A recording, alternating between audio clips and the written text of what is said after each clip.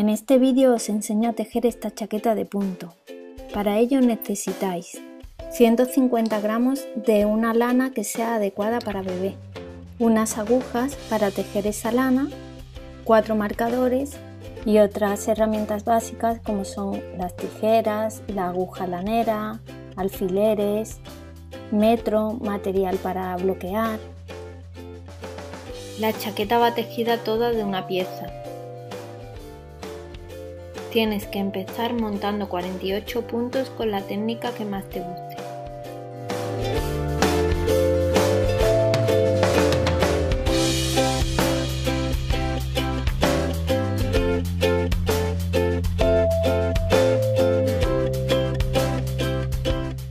Aunque me veáis con agujas circulares, se puede hacer también con agujas rectas.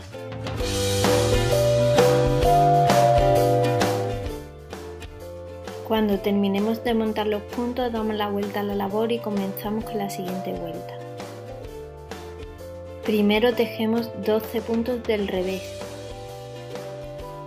Estos 12 puntos corresponden a la parte del delantero.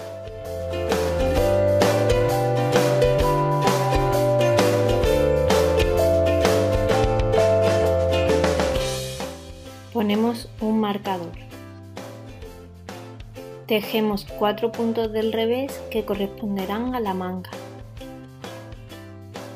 Ponemos un marcador. Continuar tejiendo 16 puntos del revés que corresponderán a la espalda.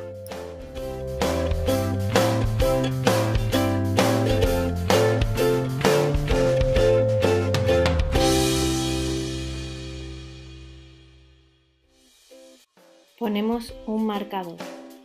Tejemos cuatro puntos del revés que corresponderán a la manga. Ponemos un marcador. Y por último tejemos los 12 puntos que nos quedan del revés formando el otro delantero.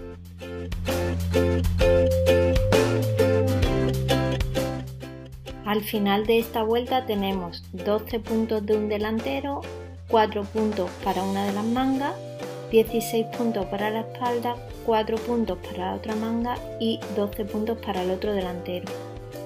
Continuamos con la vuelta 3. Para ello tejemos todos los puntos del derecho hasta que quede un punto para llegar al marcador.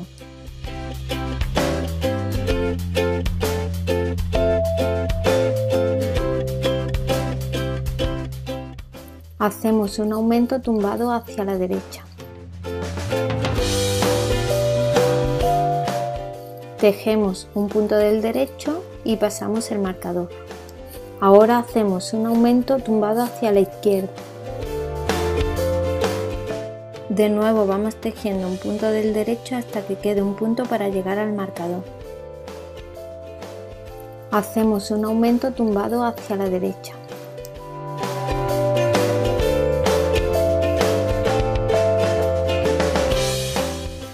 Tejemos un punto del derecho y pasamos el marcador. Ahora hacemos un aumento tumbado hacia la izquierda.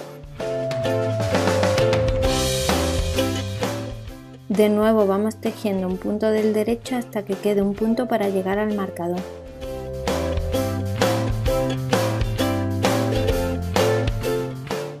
Hacemos un aumento tumbado hacia la derecha. Tejemos un punto del derecho y pasamos el marcador. Ahora hacemos un aumento tumbado hacia la izquierda. De nuevo vamos tejiendo un punto del derecho hasta que quede un punto para llegar al marcador. Hacemos un aumento tumbado hacia la derecha. Tejemos un punto del derecho y pasamos el marcador. Ahora hacemos un aumento tumbado hacia la izquierda.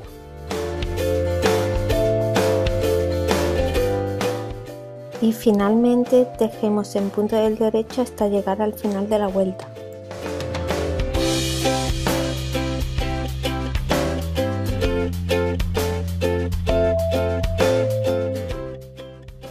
Para la vuelta 4 tejemos todos los puntos del revés.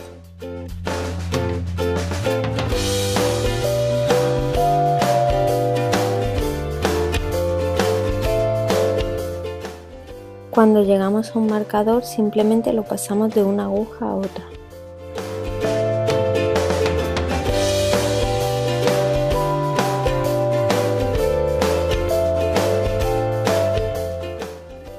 La vuelta 5 consiste en repetir la vuelta 3. Al final de la vuelta habremos aumentado 8 puntos.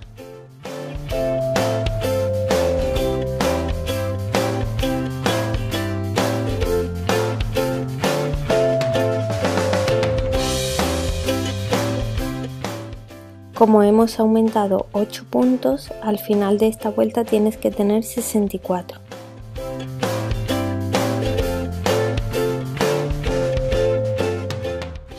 En la siguiente vuelta simplemente tienes que tejer todos los puntos del revés y pasar el marcador de una aguja a otra cuando te los encuentres. Volvemos a repetir la vuelta de aumentos. Consiste en tejer en punto del derecho hasta que quede un punto para el marcador. Hacer un aumento tumbado hacia la derecha. Un punto del derecho, pasamos el marcador y hacemos un aumento tumbado hacia la izquierda. Esto lo repetimos un total de cuatro veces.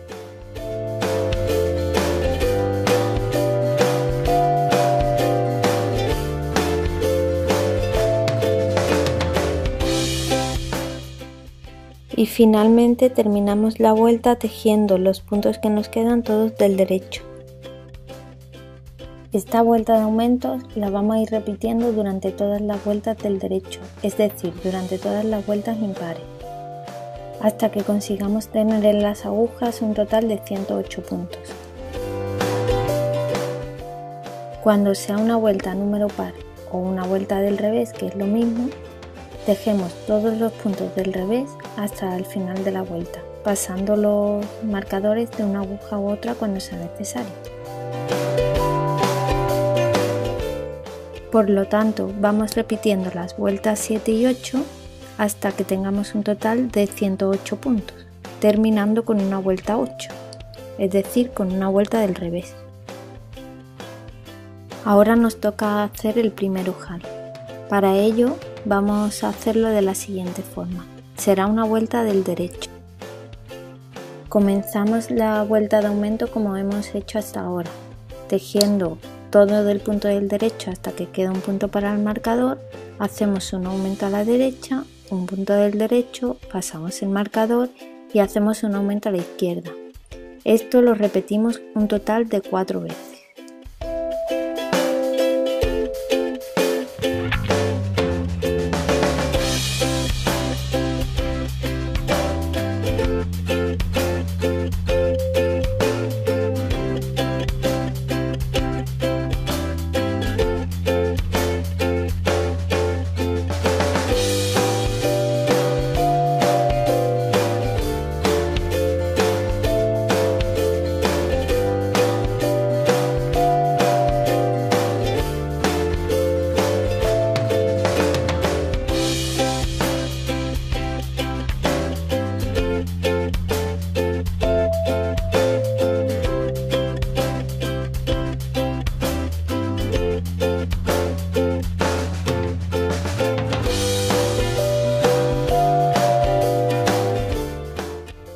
Una vez hecho el último aumento hacia la izquierda, vamos a tejer en punto del derecho hasta que queden 5 puntos para terminar la vuelta. Será aquí donde hagamos el primer ojal. Para ello vamos a tejer dos puntos juntos del derecho, vamos a echar una hebra y después tejemos los tres puntos que quedan del derecho. La vuelta del revés va a ser como siempre, tejiendo todos los puntos del revés. Seguimos repitiendo las vueltas 7 y 8 hasta que tengamos en las agujas un total de 190 puntos. Hemos de terminar con una vuelta del revés, es decir, con una vuelta par. Aquí veis bien cómo se distinguen los delanteros, las mangas y la espalda. Ha llegado el momento de separar las mangas y continuaremos tejiendo lo que es el cuerpo, es decir, delanteros y espalda.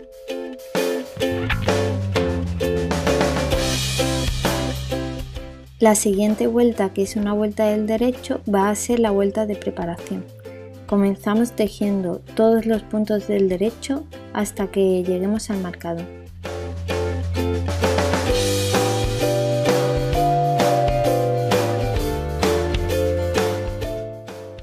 Quitamos el marcador y tejemos un punto del derecho que era un aumento en la vuelta anterior y que yo lo incluyo en el delantero. Pasamos los puntos que nos encontramos hasta llegar al siguiente marcador a una hebra o si prefieres a un imperdible o un cable para dejarlos en espera.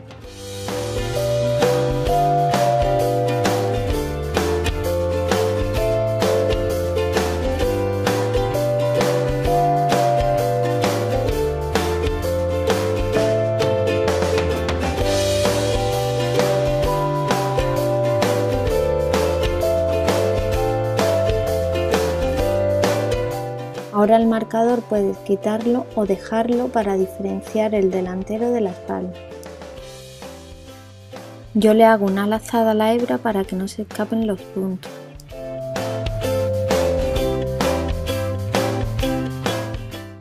Continuamos tejiendo en punto del derecho hasta el siguiente marcador. Es importante apretar el primer punto para que no quede agujero en lo que será la sisa. Quitamos el marcador y de nuevo pasamos a una hebra los puntos que corresponden a la manga, es decir, hasta un punto antes del marcador. Por lo tanto serán 35 puntos los que correspondan a esta segunda manga.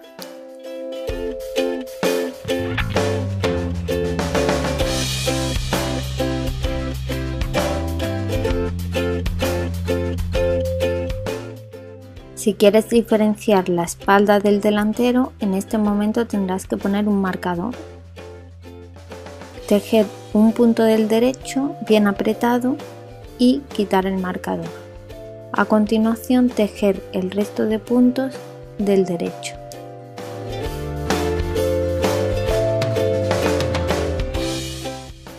Ahora ya podéis ver cómo está tomando forma de chaqueta.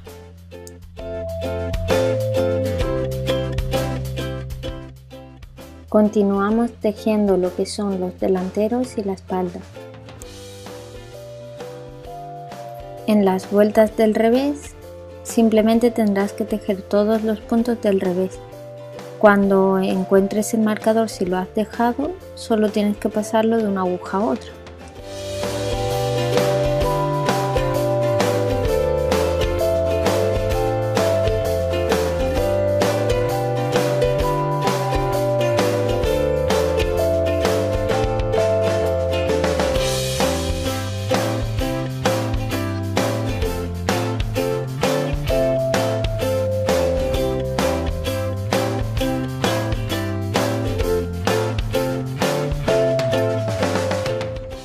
En la siguiente vuelta del derecho vamos a hacer el segundo y último ojal.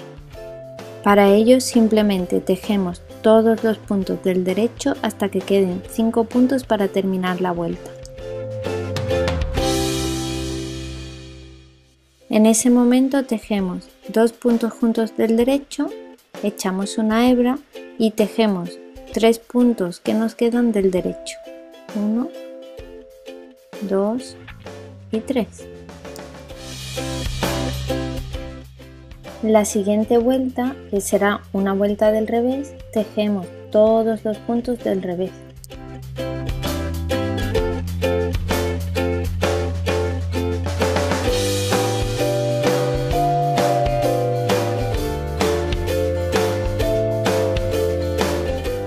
Todas las vueltas del derecho se tejerán todos los puntos del derecho,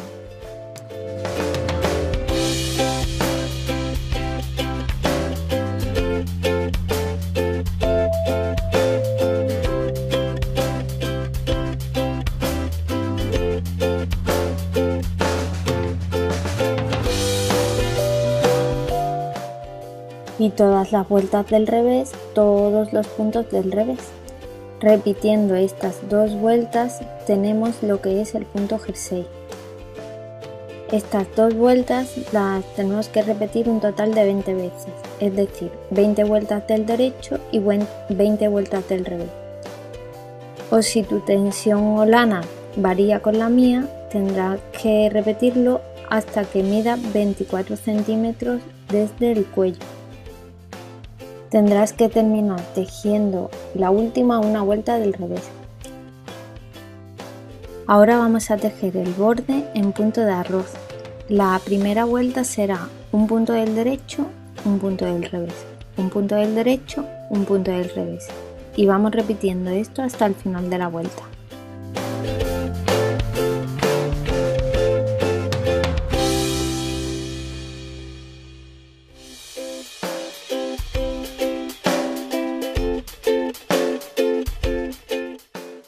La siguiente vuelta, la vuelta 2 del punto de arroz, será un punto del revés, un punto del derecho, un punto del revés, un punto del derecho. Y esto lo repetimos hasta el final de la vuelta.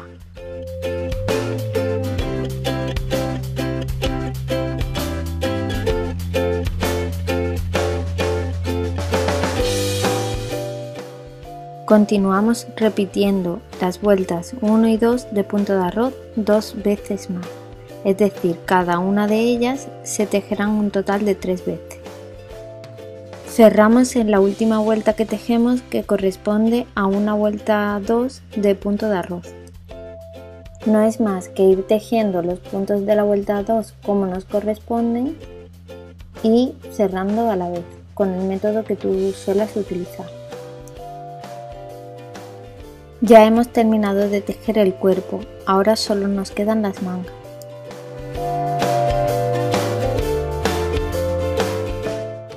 Para ello tenemos que retomar los puntos que habíamos dejado en la hebra y meterlos en la aguja. Una vez que lo tenemos en la aguja, quitamos la hebra.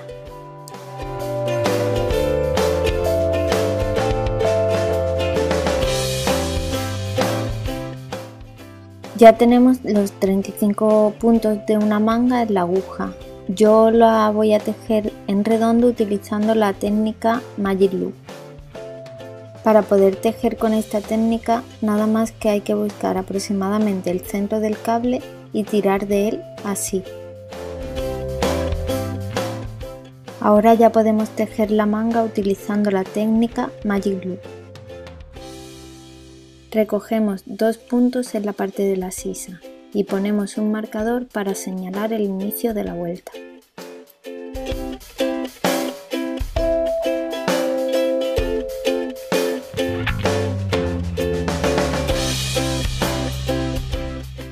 A continuación recogemos tres puntos más en la parte de la sisa.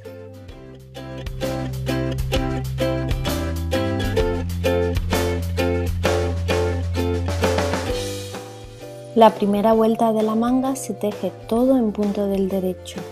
Aquí os lo grabo entero y os lo dejo entero y así podéis ver cómo se hace con la técnica Magic Loop. Simplemente cuando llegamos a la parte donde sacamos anteriormente el cable, lo pasamos para el otro lado, es decir, para el inicio de la vuelta y continuamos tejiendo en punto del derecho que era lo que estábamos haciendo. Cuando llegamos al marcador ya habremos terminado esta vuelta.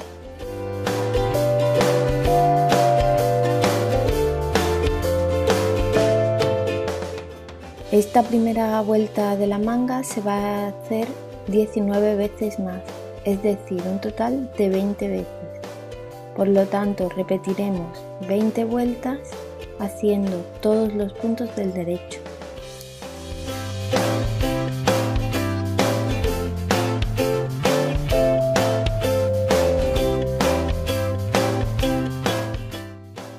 Que hemos hecho esas 20 vueltas, vamos a ir dándole forma a la manga.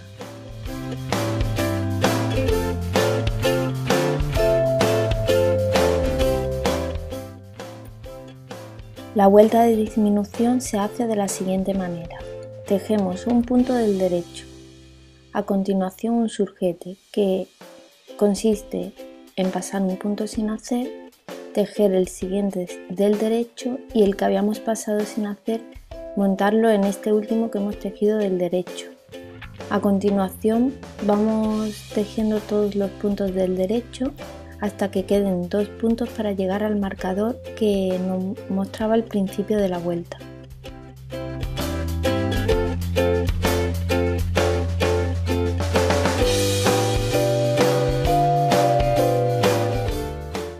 Ahora de nuevo nos toca disminuir. Esta vez lo hacemos tejiendo los dos puntos que nos quedan juntos del derecho.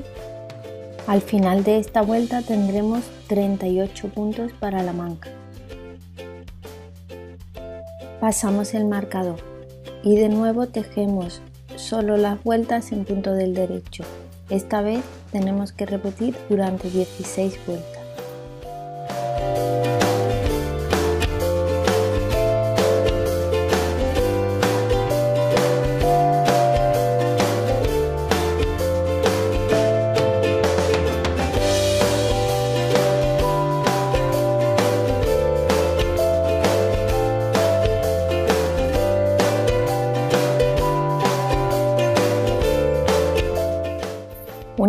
Tejida esas 16 vueltas, vamos a hacer otra vez la vuelta de disminución. Os recuerdo que se hacía tejiendo un punto del derecho, un surjete que era pasando un punto sin hacer, el siguiente se teje del derecho y el que se había pasado sin hacer se monta en el que has tejido del derecho.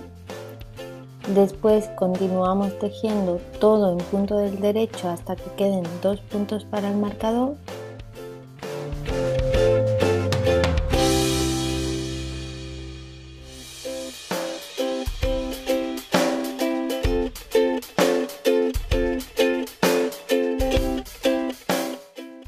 y cuando queden dos puntos para el marcador se tejen esos dos puntos juntos del derecho. Ya habremos disminuido otros dos puntos durante esta vuelta y por lo tanto tendremos 36 puntos. Podéis ver que la manga va teniendo forma. De nuevo continuamos tejiendo 8 vueltas solo de punto del derecho.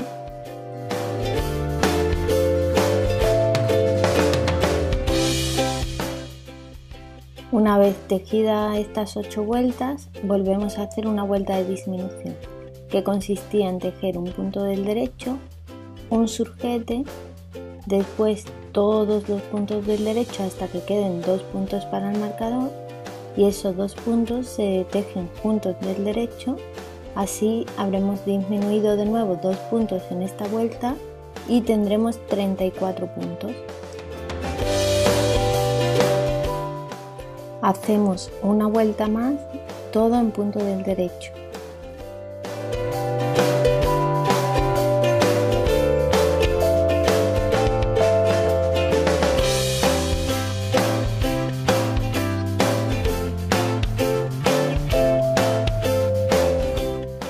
En este momento el interior de la manga, es decir, desde la sisa hasta el puño, tiene que medir 14 centímetros y medio. Si no es así, puedes seguir tejiendo vueltas en punto del derecho hasta llegar a la medida deseada.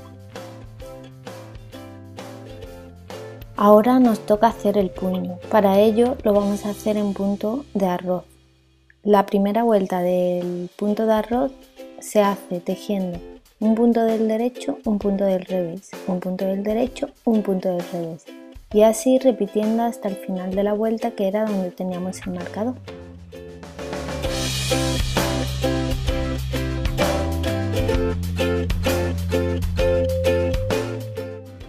La segunda vuelta del puño se hace tejiendo un punto del revés, un punto del derecho, un punto del revés, un punto del derecho y continuamos tejiendo y repitiendo esta hasta el final de la vuelta.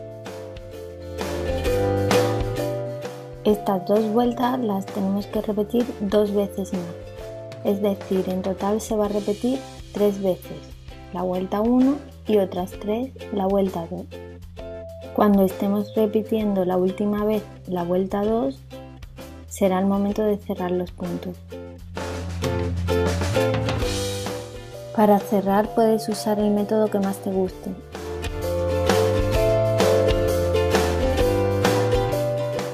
Una vez cerrado todos los puntos, ya tenemos una manga hecha. Ahora la siguiente la repetimos igual que hemos hecho esta primera. Cuando hayamos tejido la segunda manga, tendremos que holmar o bloquear. Si la lana que has utilizado lleva acrílico, lo mejor es que le des con un poco de vapor de la plancha pero sin llegar a tocar la plancha el tejido. Si has utilizado una lana natural como es mi caso, es mejor que bloquees lavando la prenda. A continuación os enseño cómo lo hago yo.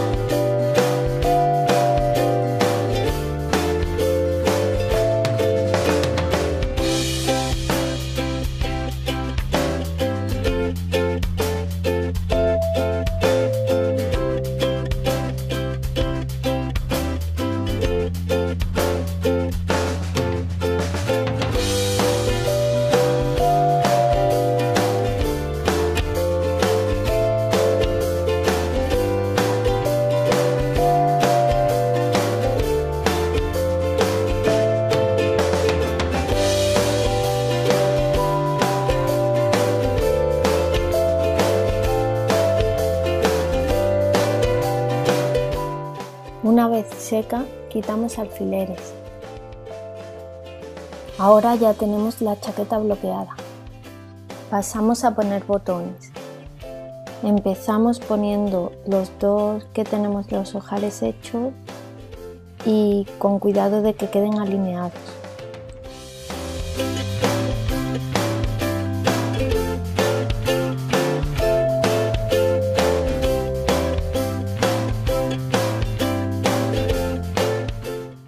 Te gusta puedes coser otros dos botones de adorno.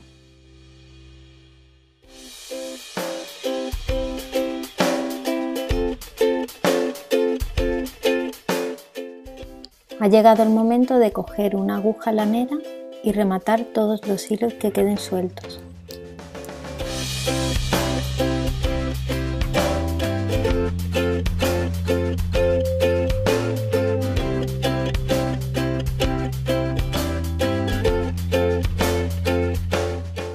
Puedes dar unas puntaditas al cuello para que quede con esta forma.